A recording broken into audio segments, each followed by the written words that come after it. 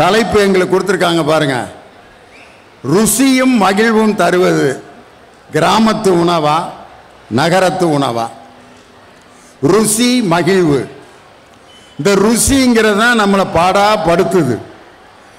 ஏன்னா ஒரு சாப்பாட்டு பொருளை கண்ணு பார்க்குது கண்ணு பார்த்தோன்னே அதை சாப்பிடணும்னு மூளைகிட்ட சொல்லுது.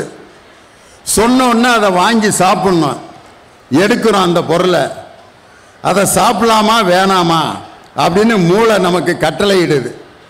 அந்த கட்டளை எதை அடிப்படையாக வச்சு நமக்கு அமையும்னா ஒரு ஜாங்கிரியை ஒருத்தர் எடுக்கிறாருன்னு வச்சுக்கோங்க. அவர் சர்க்கரை நோயாளியாக இருந்தாருன்னா அந்த ஜிலேபி அப்படியே பார்ப்பாரு. சாப்பிடலாமா? ஜிலேபி சொல்லும் சாப்பிடியா? இவ்வளோ அழகாக இருக்கேன் நான். இன்னைக்கு ஒரு நாள் சாப்பிடு அப்படின்னு.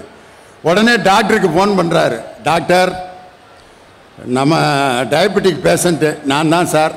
என் பேர் சதீஷ். ஒரு ஜாங்கிரி இப்போ ஒரு பத்தரை மணிக்கு சாப்பிட்லான்னு நினைக்கிறேன். சாப்பிட்லாமா? அப்படின்னு டாக்டர்கிட்ட இருந்து பதில். சாப்பிடுங்க. அப்படியே ஆஸ்பத்திரிக்கு வந்துடுங்க அவர் அப்படியே வச்சிடுறார். மூளை பார்த்துட்டு சாப்பிடணும்னு சொல்லுது. நாக்கில் எச்சி ஊறிடுச்சு. ஆனால் அவருடைய உடல் நலம் இடம் கொடுக்கல. அதில் சாப்பாடுங்கிறதுக்கு பல வார்த்தை இருக்குது சாப்பிட்றது தின்றது உண்ணுவது. இதில் எந்த வார்த்தையை நம்ம அதிகமாக பயன்படுத்துகிறோம் பெரும்பாலும் சாப்பிட்றதுங்கிற வார்த்தையை தான் பயன்படுத்துகிறோம் திங்கிறதுங்கிற வார்த்தையை எல்லாரும் பயன்படுத்த முடியாது. இப்போ வீட்டுக்கு ஒரு கெஸ்ட் வந்திருக்காரு. வாங்க வாங்க மாமா வாங்க. வாங்க வந்து தின்ட்டு போங்க. அப்படின்னா ஏன்டா? என்னடா நினச்சி என்னைய கூப்பிட்ற? சும்மா தின்னுங்க. சோறு வச்சுருக்கேன் குழம்பு வச்சுருக்கேன் தின்ட்டு போங்க அப்படின்னா ஏண்டா ஒரு மரியாதை வேணாமாடா. சாப்பிட்டு போங்கன்னா சாப்பிடுவார் தின்னுட்டு போங்கன்னா சாப்பிட மாட்டார். அதையே நம்ம மாமா வருக உணவு உண்டு செல்க உங்களுக்காக தயாரித்து வைத்திருக்கிறோம். அப்படின்னா மாமா ஏதோ நக்கல் பண்ணுறாங்க போல இருக்கு. நம்ம சாப்பிட்றோமா வேணாமான்னு டெஸ்ட் பண்ணுறானோன்னு நினைப்பார். சாப்பிட்டு போங்க அப்படிங்கிறதான் அழகான சொல். ஆனால் இங்கே சென்னையில் இந்த சாப்பிட்டு போங்கங்கிறத எப்படி சொன்னான் தெரியுமா ஒரு ஊரில் எனக்கு? கும்மிடி பூண்டிக்கு பட்டிமன்றம் நடத்த போனேன். நான் இல்லையேன்னு என்னத்தா? நாஸ்டா துணியா? நாஸ்டா துணியான்னு கேட்டான். என்னடா சொல்கிற அப்படின்னு. அப்புறம் பக்கத்தில் இருக்கார் கேட்டார் நாஸ்டா துணியான்னா காலையில் சாப்பிட்டீங்களான்னு கேட்குறான் சார் அப்படின்னு. நாஸ்டா துணியா கோயம்புத்தூரில் போய் கேட்டால் ஏனுங்க நீங்கள் சாப்பிட்டு போங்கண்ணா அப்படிம்பாங்க. மதுரையில் என்ன சொல்லுவேன்? வாங்க மாப்பிள்ள சாப்பிட்டு போகிறது அவர் சாப்பிடுவோம்ல அப்படிம்பாரு மதுரையில். திருநெல்வேலியில் ஏல சாப்பிடுத என்னல பேசாமல் நிற்க சாப்பிடல அப்படிம்பாங்க. ஒரு சாப்பாடுங்கிறத கூட ஒவ்வொரு மாவட்டத்திலையும் எப்படி சொல்லிக்கிட்டு இருக்காங்க? திங்கிறதுங்கிற வார்த்தையை நம்ம யூஸ் பண்ணோம்னா அது மரியாதை குறைவாக இருக்கு. அதே மாதிரி முகத்துக்கு பல வார்த்தை இருக்கு. முகம் மூஞ்சி மொகர அப்படின்னு மூணு வார்த்தை இருக்கு. இந்த மூஞ்சிங்கிற வார்த்தையை எல்லாத்திலையும் பயன்படுத்த முடியுமா? ஒரு கலெக்டர் வந்திருக்காரு. ஐயா வணக்கம் ஐயா. உங்கள் மூஞ்சியில் கருப்பாக என்னமோ ஒட்டியிருக்கியா? அப்படின்னா அவர் என்னங்க? அப்படிம்பாரு. ஐயா உங்கள் முகத்தில் என்னமோ ஒட்டியிருக்கு. அப்படின்னா ஒன்றும் நினைக்க மாட்டார். இதை விட கலெக்டர்கிட்ட எப்படி சொல்கிறோம்னு வச்சுங்க. கலெக்டர் ஐயா உங்கள் முகரையில் என்னமோ ஒட்டியிருக்கு அப்படின்னா ஏன்டா கலெக்டர்கிட்ட இப்படித்தான் பேசுகிறதா அப்படிம்பார். முகரை மூஞ்சி முகம். மூணு வார்த்தை தான். ஆனால் அதை பயன்படுத்துகிற முறைக்கு தகுந்த மாதிரி அவருடைய அர்த்தம் மாறுது. இன்னும் பெண்கள் முகர கட்டம்பாங்க. ஆமாம் ஓ முகர கட்டைக்கு நான் காப்பி வேற போடணுமாக்க முகர கட்டம்பாங்க. ஒரு வார்த்தைக்கு எத்தனை விதமான பயன்பாடு இருக்கு பாருங்க. சாப்பாடுங்கிறது எவ்வளோ முக்கியங்கிறத நான் சொல்லலை. திருவள்ளுவர் சொல்கிறார் என்ன சொல்கிறாருன்னா இறந்தும் உயிர் வாழ்தல் வேண்டின் பறந்து கெடுக உலகை இயற்றியான்னார்.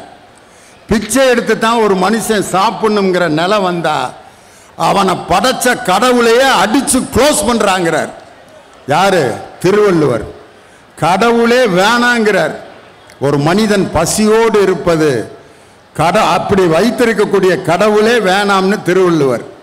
பாரதியார் என்ன சொல்றாரு? தனி ஒருவனுக்கு உணவில்லை எனில் இந்த ஜெகத்தினை அழித்திடுவோம்னார். ஒரு தனி மனிதன் சாப்பிடாம இருந்தா அந்த உலகத்தையே அழிச்சிடுறாங்கிறார். அந்த அளவுக்கு சாப்பாடுங்கிறது ரொம்ப முக்கியம். சாப்பாடுங்கிறது நல்லதுக்கும் போடுறான் கெட்டதுக்கும் போடுறான். நம்ம இதில் பாருங்க பந்தல். டெத்துக்கும் பந்தல் தான். கல்யாணத்துக்கும் பந்தல் தான். டெத்துக்கும் மாலை தான். கல்யாணத்துலேயும் மாலை தான். டெத்துக்கும் சொந்தக்காரங்களுக்கெல்லாம் சொல்லி விட்றாங்க. கல்யாணத்துக்கும் சொந்தக்காரங்களுக்கெல்லாம் சொல்லி விட்றாங்க. டெத்துலேயும் சாப்பாடு போடுறான். கல்யாணத்துலேயும் சாப்பாடு போடுறான். டெத்துலேயும் மேலே வாசிக்கிறான் கல்யாணத்துலேயும் மேலே வாசிக்கிறான். ஒரே ஒரு வித்தியாசம் என்னன்னா கல்யாணம் முடிஞ்சு முதல் இரவில் பூவு கீழே இருக்கும் நம்ம மேலே இருப்போம். ஆனால் டெத்தில் நம்ம மேலே இருப்போம் பூவு நமக்கு மேலே இருக்கும். இவ்வளோதான் வித்தியாசம். ஆனால் ரெண்டுலேயும் சாப்பாடு இருக்கு. இந்த சாப்பாடுங்கிறது நல்லதுக்கும் கெட்டதுக்கும் பயன்படுத்தப்படுகின்ற அருமையான ஒரு சமாச்சாரம். வயிற்றுக்கு உணவு இல்லாட்டி என்ன பாடுபடுவாங்கிறத ஒரு கர்நாடக சங்கீத கச்சேரி நடந்ததை சொல்லுவாங்க. ஒரு பாகவதர் பாடிக்கிட்டு இருக்காரு. அருமையான பாட்டு. முதல் பாடல் கலியுக வரதன் என்ற பாடல் ராகம் பிருந்தாவன சாரங்கா தாளம் ஆதி தாளம். தொடங்கினார்.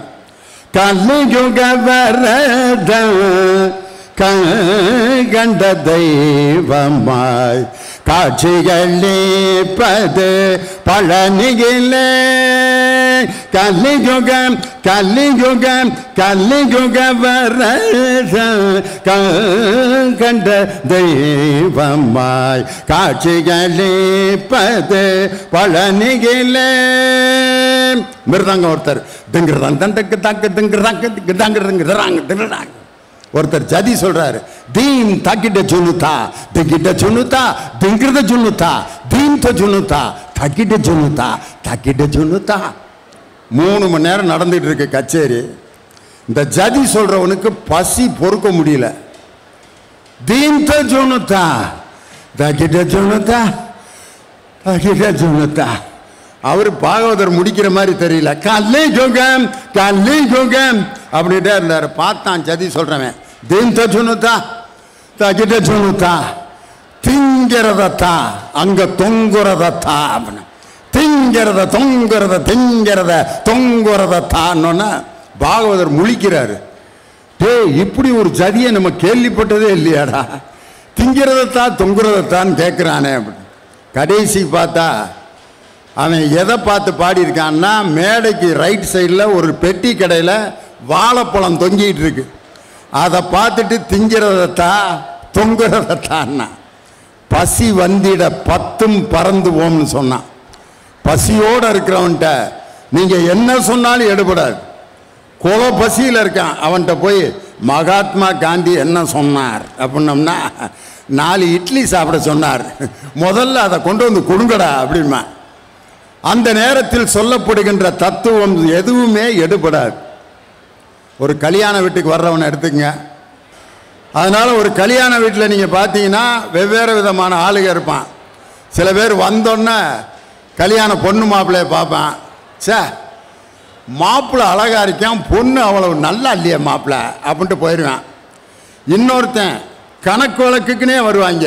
எத்தனை எவ்வளவு நகை போட்டிருப்பேன்? ஐம்பது ஓன் போட்டிருப்பானா? உனக்கு என்ன அவன் தகரத்தை கூட போட்டு போகிறேன் உனக்கு என்ன அதை பற்றி கவலை? இன்னொருத்தன் சாப்பாடு எவ்வளோ செலவு பண்ணியிருப்பாங்க என்னடா இப்படி சாப்பாடு போட்டிருக்கேன்? பிச்சைக்காரப்ப. அப்படின்னு அங்கே வந்து திட்டிகிட்டு இருப்பேன். இன்னும் சில பேர் கல்யாண வீட்டில் அந்த அடுத்த நாள் கல்யாணம்னா முந்தின நாள் எப்படித்தான் செட் ஆவாங்கன்னு தெரியல. மேற்படி குரூப்பு மாப்பிள்ள. வேடா. அவனுக்குன்னே மிச்சர் வாங்கி கொடுக்க நாலு பேர் இருப்பேன். பொம்பளையிலலாம் தூங்கணுன்னு அப்படி தாவா ஒதுங்குவாங்க. எல்லாம் அப்படிலாம் திடீர்னு தமிழில் பேசிகிட்டு இருப்பேன் அப்புறம் இங்கிலீஷில் பேசுவேன் அப்புறம் என்ன பேசுனானே தெரியாது. செலவழிச்சவன் கீழே டவு டேபிளுக்கு அடியில் கிடப்பான். அவன் தலை மேலே அவன் காலை வச்சுருப்பான் காலையில் நாலு மணிக்கு. அது ஒரு குரூப்பு ஆனால் சில பேர் கல்யாண வீட்டில் திங்கிறதுக்குனே வருவான் பார்த்துருக்கீங்களா தாலி கட்டணும்னு ஓடிடுவான் என் மண்டபத்து. எங்கே?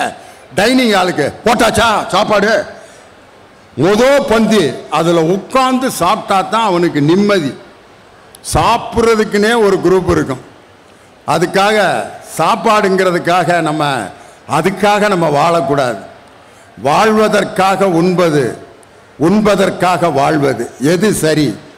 உண்பதற்காக வாழ்வது சரியில்லை. வாழ்வதற்காக உண்பதுதான் இந்த உணவு பாதுகாப்பு துறையினுடைய நோக்கம்.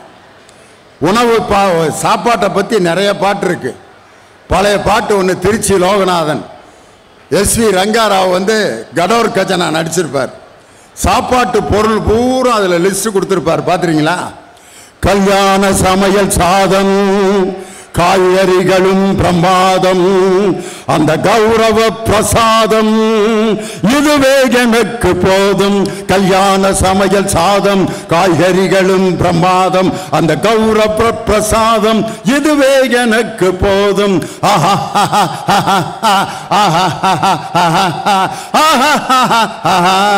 ஜோரான பேனி லட்டு சுவையான ஜீனி புட்டு. ஜோரான பேனி லட்டு சுவையான ஜீனி பொட்டு ஏராளமான தட்டு இனி இஷ்டம் போல வெட்டு கல்யாண சமையல் சாதம் காய்கறிகளும் பிரமாதம் அந்த கௌரவ பிரசாதம் இதுவே எனக்கு போதும் ஆஹா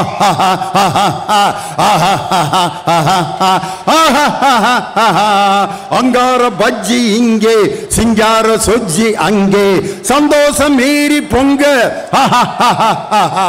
இதுவே எனக்கு திங்க. கல்யாண சமையல் சாதம் காய்கறிகளும் பிரமாதம் அந்த கௌரவ பிரசாதம். இதுவே எனக்கு போதும். புளியோதரையின் சோறு மிக பொருத்தமாய் சாம்பாரு. புளியோதரையின் சோறு மிக பொருத்தமாய் சாம்பாரு. பூரி கிழங்கு பாரு. இதுவே எனக்கு ஜோறு. கல்யாண சமையல் சாதம் காய்கறிகளும் பிரமாதம் அந்த கௌரவ பிரசாதம் இதுவே எனக்கு போதும். ஆஹா ஆஹா ஆஹா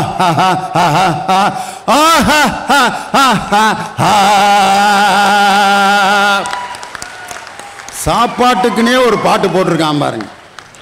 பட்டிமன்றத்தில் இங்கே நாங்கள் பேசிகிட்டு இருக்கோம். அன்பார்ந்த பெரியவர்கள் என்னொன்னு கொத்து புரோட்டா சத்தம் கேட்குது நங்கடி நங்கடி நங்கடி நங்கடி நங்கடி நாங்கள் என்ன பேசுகிறோம் என்றால் அப்படின்னு, ஏ ரெண்டு சுக்கா குடுறா அப்படின்னு சத்தம் கேட்குது இதையெல்லாம் மீறி இவ்வளவு உணவு வாசனைகளும் எங்களுக்கே வந்துகிட்டு இருக்கு. இதையெல்லாம் மீறியும் செவிக்கு கிடைக்கின்ற அந்த உணவுக்காக இங்கே கூடியிருக்கக்கூடிய என் உயிரினும் மேலான ரசிக பெருமக்களுக்கு என்னுடைய அன்பார்ந்த வாழ்த்துக்களை வணக்கத்தை சொல்லி ருஸ்- ருசியும் மகிழ்வும் தருவது கிராமத்து உணவு அப்படின்னு பேசுறதுக்கு ரெண்டு பேர். கிராமத்து சாப்பாடுனா என்ன? அதுக்குன்னு ஒரு வகை இருக்கு. எளிமையான உணவு. திரும்ப திரும்ப ரிப்பீட் ஆகாது. ஒரே மாதிரியான உணவு. அதே தான் சாப்பிடுவோம். காலையில் என்ன சாப்பிட்றோமோ அடுத்த நாள் காலையிலையும் அதே தான் வெரைட்டி இருக்காது. ஒரே மாதிரியான உணவு எளிமையான உணவு இதுதான் கிராமத்து உணவு. அதுதான் ருசியும் மகிழ்வும் தருகிறதுன்னு பேசுகிறதுக்கு எங்கள் அருமை சகோதரர் எஸ்ஏ கல்லூரியின் தமிழ்துறை தலைவராக பணியாற்றி கொண்டிருக்கக்கூடிய பேராசிரியர் விஜயகுமார். அவருடைய மாணவர்கள் ரெண்டு பேர் பிரக்யானந்தா இன்னொருவர் ரெண்டு பேர் தான் நடைபெற்ற செஸ் ஒலிம்பியாட்டில் வெண்கல பதக்கம் பெற்ற செஸ் வீரர்கள் விஜயகுமாருடைய மாணவர்கள். அதனால் ஒலிம்பிக்கில் வெற்றி பெற்ற மாணவர்களை உருவாக்கிய பேராசிரியர். அவரோடு இணைந்து பேசுவதற்கு வருகை தந்திருப்பவர் இராணுவத்தில் கப்பற்படையிலே பணியாற்றி கொண்டிருக்கக்கூடிய இராணுவ ஊழியர் எனது அருமை தம்பி கவிஞர் இனியவன் கிராமத்து உணவு அப்படின்னு பேச வந்திருக்காங்க. நகரத்து உணவுன்றதுக்கு சரியாக வந்திருக்கார் பாருங்க. ஜீன்ஸு டிஷர்ட் அதே மாதிரி ஒரு புது மாடர்ன் செருப்பு. டையு போக்குவரத்து எல்லாம் இருக்கு. எல்லா மாடர்ன் ஐட்டமும் அவர்கிட்ட இருக்குது அவர் மாடர்ன் ஐட்டங்களை அணிபவர் மட்டுமல்ல புது கவிதைகளால் இந்த நாட்டின் மக்களின் மனங்களை வென்ற ஒரு அற்புதமான கவிஞர் நெல்லை ஜெயந்தா. அவருடைய புது கவிதைக்கு ஒரே ஒரு எடுத்துக்காட்டு மட்டும் சொல்கிறேன் நான். அன்று காந்தியிடம் பணம் இல்லை இன்று காந்தி இல்லை என்றால் அதற்கு பெயர் பணமே இல்லை அப்படின்னு எழுதியிருக்கார். ஒரே வரியில நாட்டின் பொருளாதாரத்தை அழகாக சொல்லக்கூடிய ஆற்றல் மிக்க கவிஞர் திரைப்பட பாடலாசிரியர் நெல்லை ஜெயந்தா. நகரத்து உணவேன் பேச வந்திருக்காரு. அதே நகரத்து உணவேன் பேசுகிறதுக்கு மதுரை மாவட்டத்தின் தமிழோடு உங்களை சந்திக்க வருகை தந்திருக்கும் மதுரை சங்கர் நகரத்து உணவேன் பேச வந்திருக்காரு. இப்பொழுது பட்டிமன்றத்தின் விவாதம் தொடங்குகிறது. இரண்டு உலக புகழ் பெற்ற ஒலிம்பியாட் செஸ் வீரர்களை உருவாக்கிய ஆசிரியர் பேராசிரியர் விஜயகுமார் கிராமத்து உணவே என்ற அணியை துவக்கி வைத்து உங்கள் பலத்த கரவொலியோடு தன் கருத்துக்களை வழங்க வருகிறார். வாங்க. தேமதுர தமிழோசை உலகமெல்லாம் பரவும் வகை செய்து கொண்டிருக்கிற திண்டுக்கல் நாளே பூட்டு என்ற நிலையை மாற்றி திண்டுக்கல் என்றாலே தமிழ் பாட்டு என்ற நிலையை உருவாக்கிய பட்டிமன்ற கதாநாயகன் அண்ணன் திண்டுக்கல் லியோனி அவர்களே. மேடையிலே வீட்டிருக்கின்ற தமிழ் சான்றோர் பெருமக்களே இங்கே திரளாக கூடியிருக்கின்ற உணவு பிரியர்களே என்னுடைய வணக்கம் இனிமேல் என் தலைப்பின் தொடக்கம். நீதிபதி அவர்களே ரெங்காராவ் பாட்டு படிச்சீங்கல்ல? நகரத்து சமையல் ஏதாவது வந்துச்சா அந்த லிஸ்ட்ல? ஏதாவது வந்துச்சா? முதல் மரியாதையில எங்க சிவாஜி கணேசன் அந்த ராதா கூட உட்கார்ந்து அந்த மீனை சாப்பிடுவார் பாரு. அட்ரா, கடல் மீனை விட ஆத்து மீன் தான் ருசி. நீ திங்கிற பார்த்தா எங்களுக்கே இப்ப திங்கணும் போல இருக்கியா? அதில் சிவாஜி கணேசன் இந்த மீனை எடுத்து அதான் என் நடிகன். அப்படியே இப்படி எடுத்து கொஞ்ச நேரம் இந்த மீனை பார்த்துட்டு இந்த ரைட் சைடில் அப்படியே சலுவா ஒழுகும் பாருங்க. உண்மையிலே உலகத்தில் அப்படி ஒரு நடிகன் இனி இந்த தமிழகத்திற்கு கிடைக்க போவதில்லை உலகத்திற்கே கிடைக்கல. அந்த அதுக்கு பேரே இன்னைக்கு முதல் மரியாதை மீன்னே வச்சு வித்துட்டு இருக்கான். அந்த மீனுக்கு பேரு அந்த மீன்னால பல குடும்பங்கள் ஒன்று சேர்ந்திருக்கு சண்டை போட்ட குடும்பம்லாம். அப்படிப்பட்ட ரொம்ப ஆற்றல் மிக்க மீனர் அதுதாங்க அந்த பழைய சோறும் ஐர மீன் குழம்பு வச்சு சாப்பிட்டா உங்க நகரத்து சமையல் கெட்டி பார்க்க முடியுமா? உளுந்தங்களி பருப்பு உருண்டை குழம்பு நீராகாரம் கைக்குத்தல் அரிசி குழிப்பணியாரம் வெந்தயக்களி. இது மாதிரி உங்க நகரத்து சமையல்ல லிஸ்ட் இருக்கா மிஸ்டர் ஜெயந்தா? ஆ, உங்க நகரத்து சமையல் என்ன? எழுதுங்க எழுதுங்க லிஸ்ட்டை பர்கர் பீஸா நூடுல்ஸ். இந்த நூடுல்ஸ் சாப்பிடுறான் பாரு. எங்க கிராமத்துல அந்த காளை மாடும் பசு மாடும் வைக்க போற சாப்பிடுற மாதிரி அட பாவியலா அந்த கிராமத்துல படிக்காத என் தாய் அன்னைக்கெல்லாம் தக்காளி சோறு செய்வா. பிரியாணி மாதிரி இருக்கும். என் மனைவி நகரத்துல இன்னைக்கு பிரியாணி செய்கிறா தக்காளி சாதம் மாதிரியே இருக்கு. நூடுல்ஸை சாப்பிட்டுட்டு உள்ள பாதி போகல அப்படியே தாடி மாதிரி தொங்கிட்டு இருக்கு. ஒருத்தன் கத்திரிக்கோல் எடுத்து வெட்டுறான் அதை அப்படியே. என்னடா உள்ள போக மாட்டேங்குது. வெட்டிட்டு அதை மீதியை போடுறேன். இப்படி ஒரு உணவை வந்து கத்தி வச்சு அறுத்தாயா சாப்பிட்றது? என்ன நீதிபதி அவர்களே? நான் பார்க்கிற இந்த உணவு திருவிழால வசந்தவள்ளி திருக்குற்றால குறவஞ்சியில பந்து விளையாடுற மாதிரி இருப்பு சட்டியில வானொலியில சோத்த பந்து விளையாடுறேன். சோத்த அள்ளி போட்டு அதுல கலர் சாயப்பொடி போட்டு மிளகா பொடி போட்டு மல்லிப்பொடி போட்டு கலர் கலரா சாயத்தை போட்டு அப்படி தூக்கி போட்டு பிடிச்சி பிடிச்சி பிடிச்சி விளையாண்டு அப்படியே தட்டுல கொட்டுறான். நம்ம ஆளு எடுத்து சாப்பிட்றான். சாப்பிட்றது குருட்டு கோழி தவுட்ட முழுங்குற மாதிரி. கேட்டா அது ஃபாஸ்ட் ஃபுட்டான் எவ்வளோ ஃபாஸ்டா உள்ள போகுதோ காலையில ஃபாஸ்டா வெளியில வந்துடுது என்ன நீதிபதி அவர்களே? ஃபாஸ்ட்டாக வெளியே வந்தா பரவாயில்லையே. வராமையில் ஆஸ்பத்திரியில் மூக்கில் டியூப் சொருகி படுக்க போட்டிருக்காங்க. நேத்துல இருந்து வரவே இல்லை சார்ல போய் உட்காந்துருக்கேன் நீதிபதி அவர்கள் நபிகள் நாயகம் அழகா சொல்லுவாரு உன் வீட்டு சமையல் அறையில் சமையல் செய்கிற போது வருகிற வாசனை எத்தனை வீடுகளுக்கு போகிறதோ அத்தனை பேருக்கும் நீ விருந்தோம்பல் செய்ய வேண்டும் என்று நபிகள் நாயகம் சொல்லுவார். இன்னைக்கு நகரத்தில் சமையல் சமையலா இருக்கா? கல்யாணம் பண்ணிட்டு ஒரு பொண்ணு வீட்டுக்கு வருது பருத்தி பால் வச்சிருக்கேன்டி மருமவளே அடுப்புல பருத்தி பால் வச்சிருக்கேன். தீஞ்சு போயிட போகுது. சிம்முல வை சிம்முல வையின்னா மாமியா. மருமக சொன்னா சிம்மு ஒன்னா சிம்மு ரெண்டா? இன்னைக்கு நிலவரம் அப்படி இருக்குது. நகரத்து சமையலகம் புத்தரிடம் போய் ஒருவன் கேட்டான் மனிதனுடைய சராசரி வாழ்க்கை எத்தனை நாள்? புத்தனுடைய சீடன் சொன்னான் எழுபது ஆண்டுகள். புத்தர் இல்லைன்றார் இன்னொரு சீடன் சொன்னான் அறுபத்தைந்து ஆண்டுகள். புத்தர் இல்லைன்ட்டார். ஐம்பது ஆண்டுகள்னு ஒருத்தன் சொன்னான் அதையும் இல்லைன்ட்டார். எல்லாரும் யோசிச்சு பார்த்தா என்ன புத்தர் ஐம்பது வருஷம் கூட இல்லைன்றாரே. அப்போது புத்தர் சொன்னார் நீதிபதி அவர்களே மனிதனுடைய சராசரி ஆண்டு காலம் ஒரு நொடி. வாழ்க்கை ஒரு நொடி அல்ல ஒவ்வொரு நொடியையும் வாழ்ந்து பார்க்க வேண்டும் என்று சொன்னால் கிராமத்து சமையல் தான் ஆரோக்கியத்தை கொடுக்கிறது. சமையல் என்பது வெறும் சேர்மானங்களையும் அதிலே போடுகிற பொருட்களையும் சார்ந்ததில்லை. இதயத்தை சேர்த்து சமைப்பது ஆன்மாவை சேர்த்து சமைப்பது கிராமத்து சமையல்ல பக்க விளைவு கிடையாது. வெள்ளக்காரன் ஆச்சரியப்பட்ட பலகாரம். எங்க ஊர் கிராமத்துல சுசியம் சியம்னு சொல்லுவான். அதுல பூரணம்னு ஒண்ணு இருக்கும். அதுல தேங்காய் துருவி போட்டு பொட்டுக்கடலை போட்டு ஏலஞ்சுக்கு போட்டு அந்த பூரணத்தை உள்ள போட்டு மாவோட அள்ளி ஊத்துவா. பாட்டி அந்த வெள்ளக்காரன் சாப்பிட்டு பார்த்து ஆச்சரியப்பட்டான். அப்படி கடிச்ச உடனே உள்ள பூரணம் இருக்குது. வெளியில காரம் உள்ள இனிப்பு. எப்படா டெக்னாலஜி இந்த டெக்னாலஜி அப்படின்னு கேட்டான் அப்பதான் அந்த பாட்டி சொன்னால் பூரணத்தை மாவுக்குள்ளே போட்டு மாவோட சேர்த்து தூக்கி போடுவேன்னு. உங்கள் ஆரோக்கியத்தை நகை நீங்கள் சிந்தித்து பார்க்க வேண்டும். நகரத்து சமையல் ஆரோக்கியத்தை தருதா? இட்லிக்கு சாஸ் தக்காளி சாஸ் வச்சு இட்லி ஊற்றுறான் அது ஆரோக்கியமா? அன்னைக்கு எப்படி இருந்தது சமையல்? ஆரோக்கியமா இருந்துச்சு. இன்னைக்கு ஆரோக்கியமா இருக்கா? என் பொண்டாட்டி பிரியாணி செஞ்சா என்னடி இது பிரியாணி? டூத் பேஸ்ட் வாசம் வருது அப்படின்னு. அத்தான் கிச்சனுக்கு போனேன் அத்தான். புதினா இல்லை இலவங்க இல்லை பட்டை இல்லை தீந்து போச்சு. அதனால தான் பேஸ்ட்டை தூக்கி பிரியாணியில் போட்டேன்.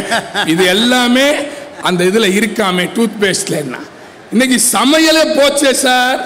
ஆனால் அன்றைக்கு சமையல் ஆரோக்கியமாக இருந்தது. சமையல் ருசியாக இருந்தது. ரசிக்கும்படியாக இருந்தது. இன்னைக்கு எப்ப கேட்டாலும் நூடுல்ஸ் இன்னைக்கு பாருங்க செர்லாக் முந்தி வரும் பாரு அது மூணு சக்கர தேர் இன்னைக்கு. காலையிலலாம் சாப்பாடுலாம் எல்லாம் ஸ்பீடு சாப்பாடுலாம் ஸ்பீடு ஒரு அம்மா குழந்தைய தேடுறா. எங்கடி போன சரவணே? கட்டிலுக்கு அடியில் கிடந்தான் அவனை தர தரன்னு இழுத்துட்டு வந்து அவனை குளிச்சானா குளிக்கானன்னு பார்க்காம அவனை வேகமாக சட்டையை போட்டு நம்ம நாடு வெப்ப நாடு. அவனை போட்டு டையெல்லாம் கட்டி ஷூவை போட்டு மாமியா கேட்டா சரவணே என் பேராண்டிக்கு நாஸ்டா கொடுத்துட்டியாடி மருமவளே அத்தை ரெண்டே நிமிஷம் அப்படின்னு ஒரு பவுல் எடுத்து அதில் சர்க்கரையை போட்டு அதில் செர்லாக்க போட்டு ஆட்டோக்காரன் வந்தேன். சரவணா அப்படின்னு நான் மருமக. ஆட்டோக்காரன் வாயில் போயிடுச்சு. அவன் சொல்கிறான் இப்படி நாஸ்டா கொடுத்தாங்க நாலு நாளில் நாஸ்டா எனக்கு ஓவர்னு. கிராமத்து சமையல் என்பது பக்க விளைவு இல்லாதது.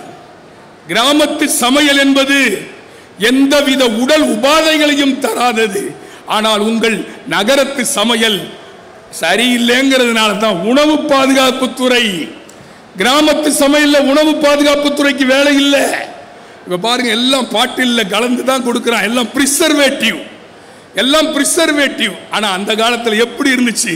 உங்கள் பிரியாணி அன்னைக்கே எங்கிட்ட இருந்துச்சு புலவுச்சோறு. சங்க இலக்கியத்தில் புலவுச்சோறுன்னு ஒரு வார்த்தை இருக்கு. அதுதான் பிரியாணி.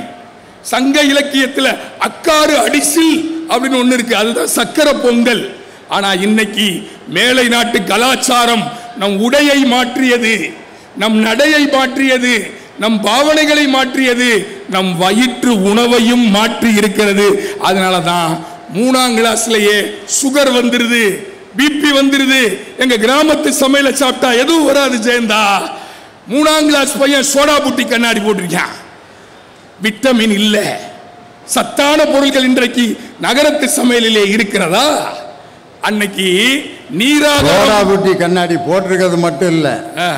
நேரா வீட்டுக்கு வந்து அவன் வீட்டுக்கு போகாம பக்கத்து வீட்டில் போய் அப்பான்ட்டான். அந்த ஆளு டேய் ஏன்டா ஏற்கனவே வீட்டில் குழப்பமாகி கிடக்குது? என்னை போய் நொப்பாங்கிற? கண்ணாடி மாற்றி போட்டாங்க அங்கிள் அப்படிங்கிறான். காரணம் என்னன்னா மூணு வயசுலயே கண்டது கிடையதையும் சாப்பிட்டு சோடா புட்டி கண்ணாடி போட்டு எல்கேஜியில் உட்காந்துருக்கான் இதுதான் இன்னைக்கு நிலைமை? ஓட்ஸா? குதிரைக்கு போடு. பிஸ்கட்டா நாய்க்கு போடு. வெளிநாட்டுக்காரன் எழுதி வச்ச பழமொழி அந்த ஓட்ஸை தான் இன்னைக்கு நம்ம சாப்பிடுறோம். அதுல என்ன சத்து இருக்குது? நீங்க சிந்திச்சு பாருங்க. ஆகாரத்துல எல்லா விட்டமினும் இருக்கு அந்த காலத்தில். ஆனால் இன்னைக்கு நவநாகரிகம் என்கிற பெயரிலே நீங்கள் கழிவைத்தானே சாப்பிட்டு கொண்டிருக்கிறீர்கள். ஜெயந்தா அவர்களே இன்னைக்கு ஃபாஸ்ட் ஃபுட்டு உலகம். ஃபாஸ்ட்டாக போகுது. ஆனால் அதில் சுவை இருக்கிறதா மகிழ்ச்சி இருக்கிறதா அன்பு இருக்கிறதா பாசம் இருக்கிறதா? ஹாஸ்பிட்டலில் படுக்கிற மாதிரி நிலைமை ஆயிடுது. ரெண்டே ரெண்டு செய்திகளோடு நான் முடித்துக்கொள்ள ஆசைப்படுகின்றேன். அன்றைக்கு மருந்து என்பது உணவாகவே இருந்தது. உணவே மருந்து. அது கிராமத்து சமையல். வயிற்று புண்ணா தேங்காய் பால் ஆப்பம். மாப்பிள்ளை சம்பா. மாப்பிள்ளை ஒல்லியா இருக்காரா? ஆறு மாசத்துல கல்யாணம் நடக்க போகுதா? மாப்பிள்ள சம்பா அரிசி கவுனி அரிசி நீராகாரம். அப்படியெல்லாம் பார்த்து பார்த்து நம் பாரம்பரியத்தை கொண்டு வந்த உணவு கலாச்சாரத்தில் விஞ்சி இருந்தது கிராமத்து சமையல். ஆனால் இன்றைக்கு அக்கறையே இல்லாமல் பிளாஸ்டிக் குடுவைகளிலே பதப்படுத்தப்பட்ட உணவிலே எப்படி நம்முடைய ஆரோக்கியம் இருக்கும் என்பதை நீங்கள் சிந்தித்து பார்க்க வேண்டும் நீதிபதி அவர்களே. ஆகவே கிராமத்து சமையல் சூப்பர். நகரத்து சமையல் தூப்பர் என்று சொல்லி வியக்க வைத்த ரசிக பெருமக்களுக்கு பிரிய மனமில்லாமல் காலத்தின் அருமை கருதி முடைக்கின்றேன். நன்றி வணக்கம்.